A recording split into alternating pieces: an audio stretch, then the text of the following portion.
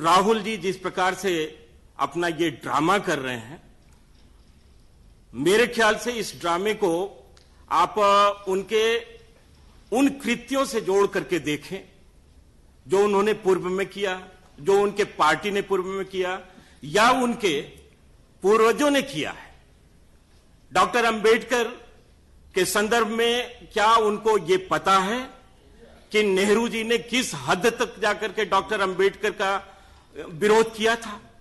Doctor Ambedkar जब इस देश में पहली बार चुनाव हो रहा था, मुंबई से वो चुनाव लड़ रहे थे तो नेहरू जी ने उनके घर के सामने एक जूता गांठने वाले व्यक्ति एक नाथ काजोलकर को कांग्रेस का टिकट देकर के उसे डॉक्टर अंबेडकर जैसे महान विद्वान और मनीषी का जमानत जब्त कराए थे। ये है उनका डीएन। ये है उनका दलितों के प्रति क्या आखिरी उनके मन में, उनके अंतरात्मा में बसता है? ये उसका एक स्वरूप क्या राहुल जी को यह भूल गया है कि जगजीवन राम जी उनकी पार्टी में लगातार खून पसीना बहाते रहे, लेकिन उन्हें कभी भी प्राइम मिनिस्टर बनने नहीं दिया गया था? क्या राहुल गांधी इस बात को जानते हैं कि आज सत्तर साल बीत रहे हैं आज़ादी के और सर्वाधिक समय तक उनकी पार्टी इस देश में शासन की है। लेकिन आज दलितों के घरों में शौचालय, भारतीय जनता पार्टी और नरेंद्र भाई मोदी जैसे प्रधानमंत्री को बनाना पड़ रहा है। यह शौचालय क्यों आवश्यक है? दलित बहु बेटियों की इज़्ज़त जब मैदानों में, खेतों में जब वो शौच के लिए जाती हैं तो लूटता है तरह तरह की आँखें उनके ऊपर उठती हैं तो उसका अंदाज शायद कांग्रेस के किसी नेता को नहीं रहा होगा जो 60 साल तक इस देश में शासन करते रहे।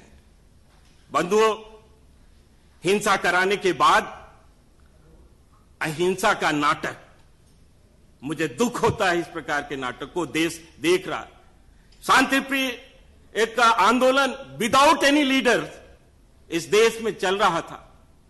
वो लोग सुप्रीम कोर्ट के सुप्रीम कोर्ट के विरुद्ध नहीं, बल्कि सुप्रीम कोर्ट के फैसले के विरुद्ध दलित समाज सामने आया था। लेकिन उसको कितना हिंसात्मक स्वरूप बना दिया गया, ये देश ने देखा और इसके बावजूद आज अहिंसा का नाटक, गांधी जी की भी आत्मा को तकलीफ़ होता होगा कि किस तरह से सज्जन कुमार और जगदीश टाइटलर वहाँ जाते हैं। यही है कांग्रेस का हिंसा, अहिंसात्मक स्वरूप। यह दलित प्रेम नहीं है। यह राहुल गांधी का कहीं से भी दलित प्रेम नहीं है, बल्कि प्रेम से दलितों का गला काटने का यह एक तरीका है, जो आज उसको वहाँ दिखलाया जा रहा है। भारतीय जनता पार्टी की जब से सरकार बनी है, हमारे प्रधानमंत्री नरेंद्र मोदी जी जब से देश की सत्ता और व्यवस्था को अपने हाथों में लिया है, उन्होंने महसूस किया कि देश का सर्वांगीण विकास तो होना ही चाहिए, लेकिन विकास के धारा से बहुत दूर रहने वाले दलितों को कैसे शामिल किया जाए यह भी उनकी एक सोच थी। और इसका परिणाम यह था कि उन्होंने छोटे छोटे जो दुनिया को लगता था कि ये तो बहुत छोटी बात है, जनधन योजना, हर एक दलित हर व्यक्ति का अकाउंट खुलवाने का योजना, हर व्यक्ति को शौचालय उपलब्ध कराने का योजना। ये क्या था? ये एक सोच थी, एक विचार था। 35 करोड़ दलित हैं एससी, एसटी के लोग। मोर देन अमेरिकन पॉपुलेशन अगर ये 35 करोड़ लोग विकास की मुख्य धारा से दूर हो जाएँगे तो ये देश पिछड़ जाएगा और हम सब जैसे लोग, जो देशभक्त अपने आप को बोलते हैं, हमारी सब देशभक्ति देखते ही धरी की धरी रह जाएगी। इसलिए सबका साथ, सबका विकास इस नारा के साथ। जिस प्रकार से हमारी सरकार ने काम करना शुरू किया, उसका यह परिणाम आज जब निकलने लगा है तो कांग्रेस पार्टी की छटपटाहट हो रही हम समझ सकते हैं कि आज जिस तरह से गरीब समाज, दलित समाज, शोषित, पिछड़े वर्ग, जंगल में रहने वाले लोग भारतीय जनता पार्टी के साथ जुड़ रहे हैं।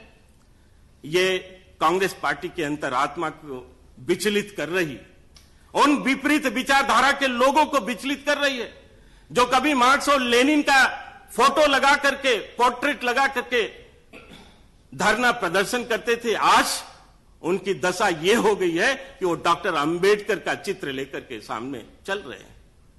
डॉक्टर अंबेडकर के संदर्भ में हमारी पार्टी ने जो किया है पंच तीर्थ का निर्माण जन्म स्थान दीक्षा भूमि, चैत्य भूमि, शिक्षा भूमि और जहाँ उनकी मृत्यु हुआ था महापरिनिर्माण स्थल।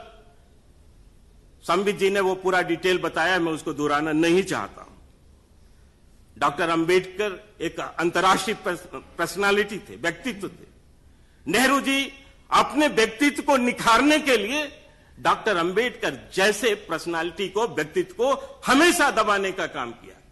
और उनके न रहने के बाद कांग्रेस ने भी उसी क्रम को आगे बढ़ाया। आज डॉक्टर अंबेडकर के बारे में देश जान रहा है कि इस देश में जितने भी शुरुआती डैम बने हुए थे, वो डॉक्टर अंबेडकर के निगरानी में बने थे, ये कौन जानता था? कौन जानता था कि बेरोजगारों के लिए एम्प्लॉयमेंट एक्सचेंज ये डॉक्टर अंबेडकर ने बनाया है?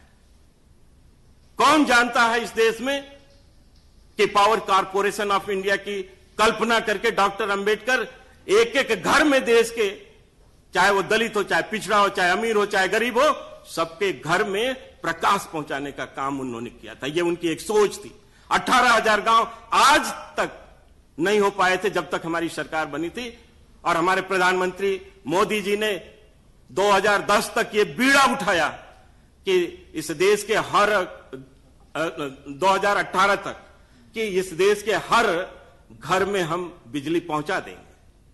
हर गाँव में बिजली पहुंचेगा। ये डॉक्टर अंबेडकर का कल्पना था, कौन जानता है? इसे तो दबाया ही जा रहा था। मैटर्निटी लीव, लेबर एक्ट, ये सब का सब काम डॉक्टर अंबेडकर ने बना करके आने वाले भारत का, उस महान भारत की परिकल्पना उस समय किया था। उसके लिए सपना देखा था, आज उस सपनों को पूरा करने का काम अगर कोई कर रहा है तो हमारी सरकार कर रही है और हमारे प्रधानमंत्री नरेंद्र भाई मोदी पर कांग्रेस को ये पसंद नहीं आ रहा है। इसलिए दलितों को ढाल बना करके ये लोग आगे चल रहे हैं। ये सब इनका एक्सपोजर हो रहा है।